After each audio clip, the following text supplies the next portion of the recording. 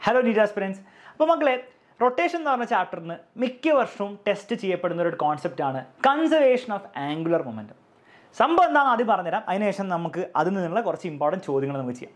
സംഭവം ഇത്രയേ ഉള്ളൂ. നിങ്ങൾ ഇത്രയും മനസ്സിലാക്കേണ്ടതുള്ളൂ.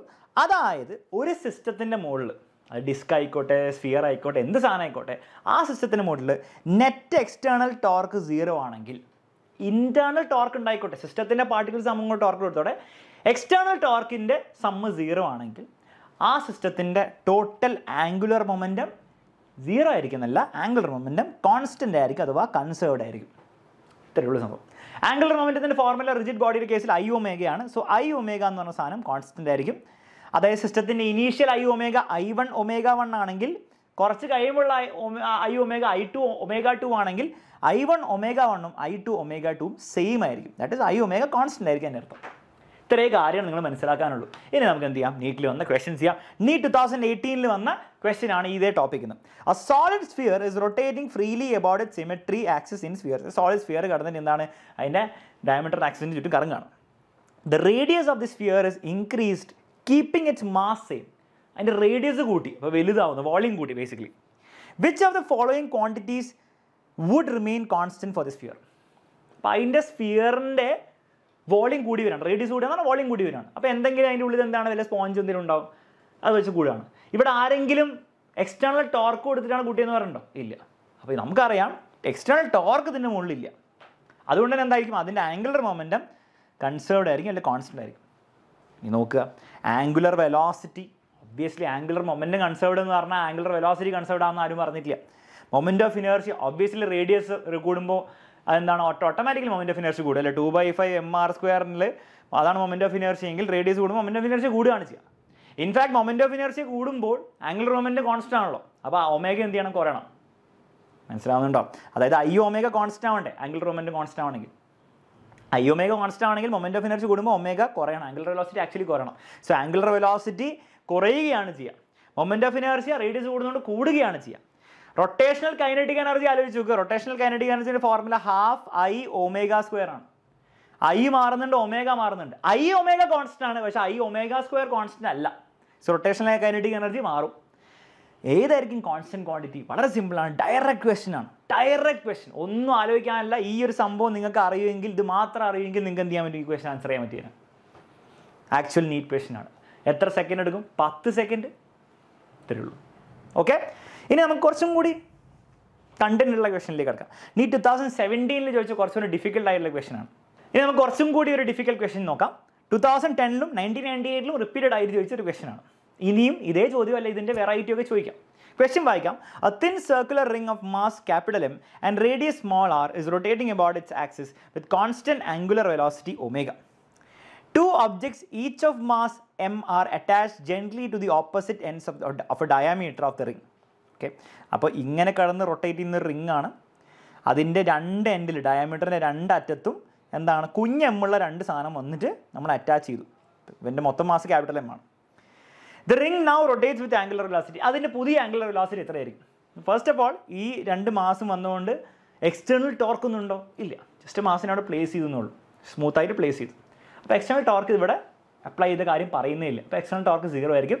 ആംഗുലർ മൊമെന്റും കോൺസ്റ്റന്റ് ആയിരിക്കും. ദാറ്റ് ഈസ് ഇനീഷ്യൽ ആംഗുലർ മൊമെന്റും ഈ സാധനങ്ങൾ വെക്കുന്നതിന്റെ മുൻപുള്ള ആംഗുലർ മൊമെന്റ് അതെന്തായിരുന്നു സിസ്റ്റം ഇങ്ങനെയായിരുന്നു അല്ലേ? ജസ്റ്റ് എന്താ റിങ് മാത്രമേ ഉണ്ടായിരുന്നുള്ളൂ. ഓക്കെ അതിന്റെ ആംഗുലർ മൊമെന്റം എന്താണ് മക്കളെ? Will be equal to L L one എന്ന് വിളിക്കാം. Will be equal to L two L one is equal to L two okay L one is equal to L two angular momentum constant ആയിരിക്കും. Okay ഇനി ആലോചിച്ച് നോക്കി നോക്ക്. ഈ സിസ്റ്റത്തിന്റെ angular moment എന്തായിരിക്കും? അതിന് നമുക്ക് ഇവന്റെ moment of inertia I one എന്ന് വിളിക്കാം. ഒമേഗൻ ഐ ഒമേഗ വൺ എന്ന് വിളിക്കാം. So it will be I one omega one ഈ സിസ്റ്റം അതായത് മാസ് വന്ന് വീണ് കഴിഞ്ഞുള്ള സിസ്റ്റത്തിന്റെ മൊമെന്റ് ഓഫ് ഇനർഷനെ ഞാൻ ഐ ടു എന്ന് എടുക്കാം. ഒമേഗന ഒമേഗ ടു എന്ന് എടുക്കാം. It will be I two omega two obviously രണ്ടുപേരും കൂടെ വന്ന് വീണപ്പോൾ മൊമെന്റ് ഓഫ് ഇനർഷ്യ ചേഞ്ച് ചെയ്തിട്ടുണ്ട്. ഓക്കെ ഇനി ആലോചിച്ച് നോക്കി നോക്ക്. ഐ വൺ എന്തായിരിക്കും? ഐ വൺ എന്ന് പറഞ്ഞാൽ വെറും റിംഗ് ആണ്.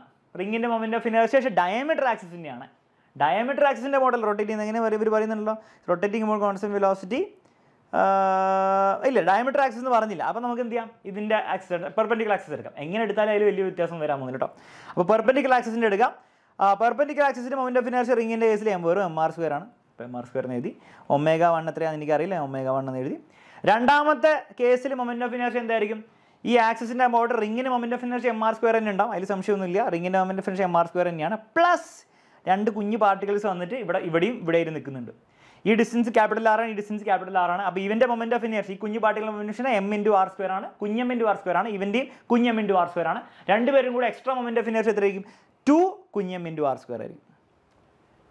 അപ്പോൾ total moment of inertia I two ഈ സിസ്റ്റത്തിന്റെ moment of inertia I two എത്രയായിരിക്കും? ഈ സാധനമായിരിക്കും. Capital M R square plus two M into കുഞ്ഞം into R square. Okay മനസ്സിലായി എന്ന് വിചാരിക്കുന്നു? ഇനി ഒമേഗ ടൂവും കൂടി ഇടാം. ഇനി നമുക്ക് വേണ്ടത് omega two in terms omega എന്ന് വെറും ഒമേഗ എന്ന് പറഞ്ഞാൽ അവർ ഇനീഷ്യൽ ഒമേഗ വണ്ണിനെ വിളിച്ചിരിക്കുന്നത് അപ്പോൾ ഒമേഗ ടു നമുക്ക് വേണം. അപ്പോൾ ഇവിടുന്ന് ഇക്വേഷൻ എന്ത് ചെയ്യുക റീഅറേഞ്ച് ചെയ്യുക സംഭവം കിട്ടി. Omega two is equal to M R square into omega വണ്ണിനെ omega എന്ന് എടുക്കാം. Divided by M R square plus two M R square ഈ രൂപത്തിലാണ് കിടപ്പുള്ളത്? അല്ല അവരെന്ത് ചെയ്ത്? ആർ സ്ക്വയറിനെ കട്ട് ചെയ്ത്. എല്ലാ ടേമിലും ആർ സ്ക്വയർ ഉണ്ട്. സോ ആർ സ്ക്വയറിനെ കട്ട് ചെയ്താൽ M omega divided by M plus two M കിട്ടും. ഓക്കെ അപ്പോൾ ക്യാപിറ്റൽ ഇതെന്താ? ഇതാണോ? അല്ല എം പ്ലസ് ടു എം താഴെയാണ്. ഇതല്ല. ഇതാണ് കറക്റ്റ് ഇതാണോ? അല്ല.